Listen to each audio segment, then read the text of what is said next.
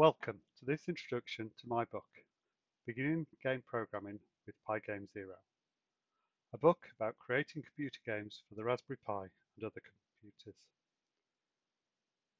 This video will show you some of the games that you'll get to create throughout the book.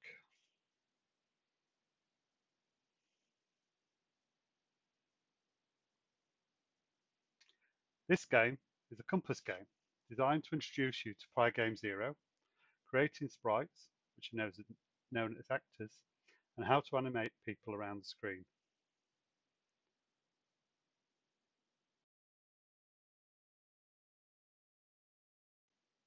As the game progresses, new objects are added to make the game more challenging and more interesting to play.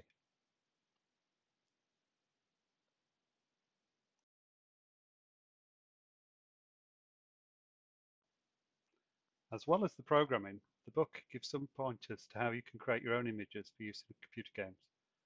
From creating a person using basic shapes in LibreOffice Draw, creating a car sprite in Inkscape, tracing a castle in GIMP, creating pixel art in GIMP, and exporting 2D versions of 3D models from Blender. Color clearly important for most games, and the Colour chapter shows you how to create a bouncing ball which changes colour as it moves around the screen, as well as a colour selector that allows you to experiment with colours.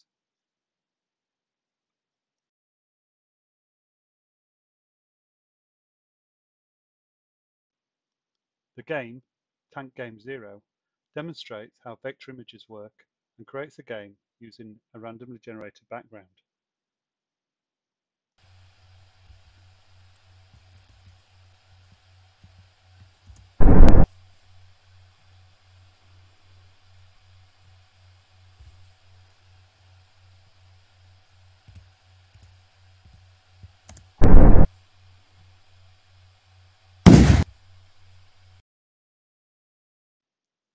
You can also add sounds and music to the game.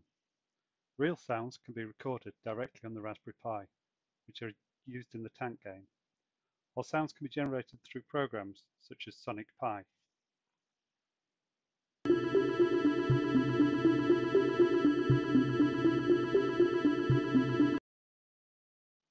Sounds can also be system generated, such as those used in this piano game.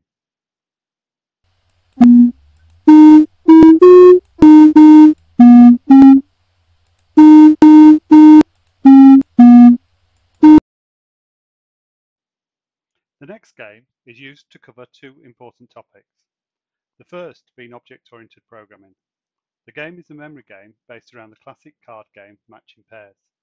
You'll get to see how object-oriented programming can be used to make the game easier to program.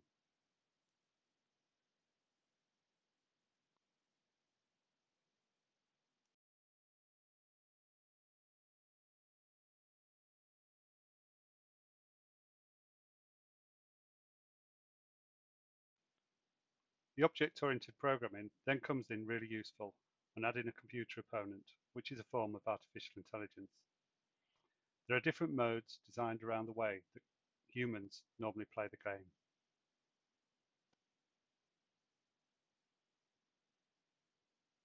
This is then applied to another classic, which is battleships. Here, the artificial intelligence uses a technique very similar to how many people play the game. This gives a reasonable level of difficulty.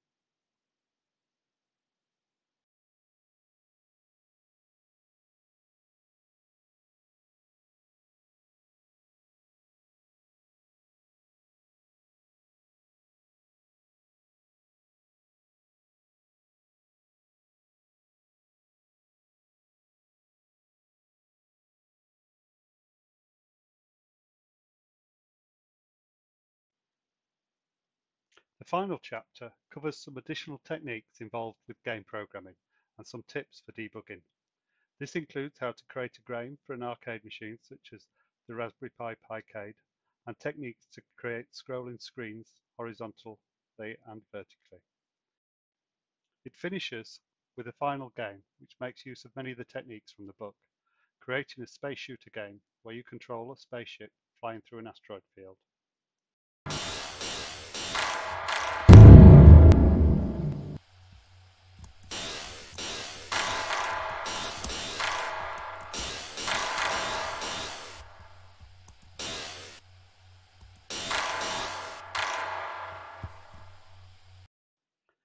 After watching this video, you should have a good idea what the book is about and the games that you'll learn to make. All source code is available to download, even if you don't buy the book, so you can take a look at that to see if you think the book may be useful. I'll put a link to my website in the video description. That will link to more videos looking at some of the techniques that are explained in the book.